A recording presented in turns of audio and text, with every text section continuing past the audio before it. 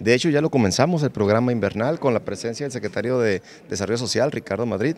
Estuvimos en las comunidades del Palmito, donde convocamos a los caseríos que están alrededor de la, de la parte alta de la sierra.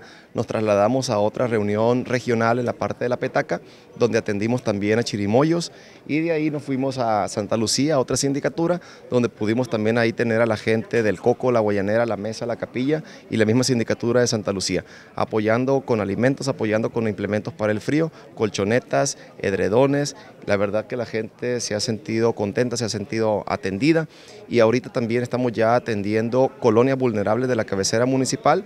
Ayer lo hicimos en San Sebastián, lo hicimos a espaldas de la Cruz Roja, que son colonias que también requieren de este tipo de apoyo por las condiciones en las que ellos viven. Nosotros estamos haciendo una solicitud de aproximadamente 1.500 apoyos para 1.500 familias.